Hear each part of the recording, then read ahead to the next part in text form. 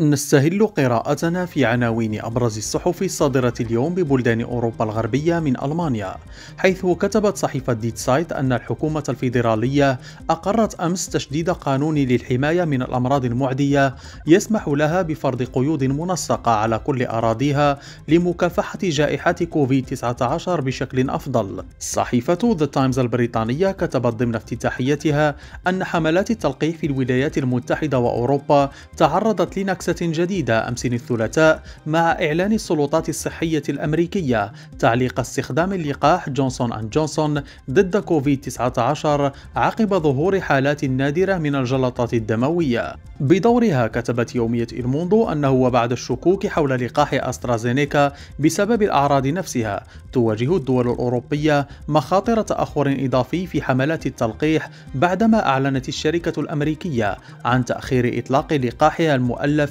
من جرعة واحدة ضد كوفيد-19 في أوروبا. ونقرأ على صحيفة لوموند أن رئيس الوزراء الفرنسي جون كاستكس أعلن أمس الثلاثاء أن باريس قررت تعليق جميع رحلاتها مع البرازيل حتى إشعار آخر وذلك بسبب القلق المرتبط بالنسخة المتحورة البرازيلية لفيروس كورونا. ونقلت الصحيفة عن كاستكس قوله خلال جلسة استجواب الحكومة في الجمعية الوطنية أن الوضع يزداد خطورة وبالتالي تقرر تعليق جميع الرحلات بين البرازيل وفرنسا حتى إشعار آخر.